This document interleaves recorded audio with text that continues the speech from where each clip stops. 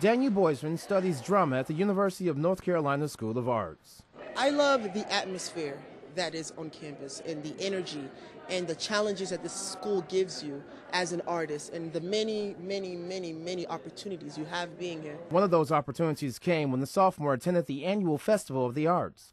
The weekend events allowed UNC campuses to showcase its arts programs. It was a different atmosphere for the campus, and it's a time where we as artists could observe other things besides being artists. And it's a, a great opportunity to bring to, to bring the arts to people and to stress the vital importance of the arts in, in our lives. But due to budget restraints from the state, the School of the Arts has decided to cancel this year's festival. It was extremely difficult. Marla Carpenter with the university says leaders were forced to cut 6% of its budget and says they were even forced to return some money back to the state. She stresses the festival's cancellation came with much discussion although it's regrettable, we have to protect and preserve the training of our students in the uh, classroom and in the studio. I feel like this arts is second class. Out of all the budget cuts, they're going to take a cut out of the artist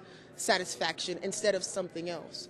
The Arts Festival provided the university a chance to showcase its students' achievements, help them recruiting, and even fundraising.